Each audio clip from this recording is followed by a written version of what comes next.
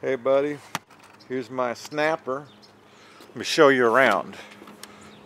Specifically, let's talk about this ignition. So, right, show you how it's done. That's gonna lead to this harness and it's gonna L, I'm guessing this is for the kill switch under your seat, right?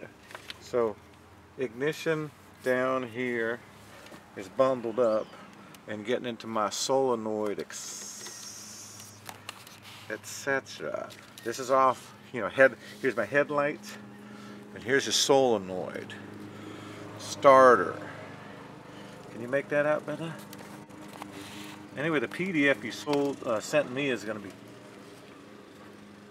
invaluable. Okay, so here's all this wiring again. I'm guessing the solenoid's part of the starter. Uh, ground going into the side of the motor and up here. And now it's going to be kind of a little pin connector deal. Uh, I'm going to get electrocuted, but, but this is what goes into the back of the ignition there. You see the key sitting there?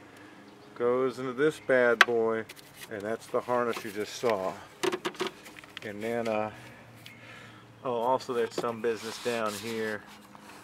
Oh man, we don't have enough light, but uh, it, see it's gonna Y off to all this business down there. Brother, this is what it looks like in Sacramento, California in March.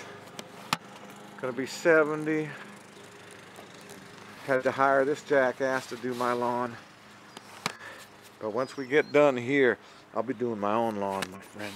Okay, greetings from Northern California. Brother, I hope that helps.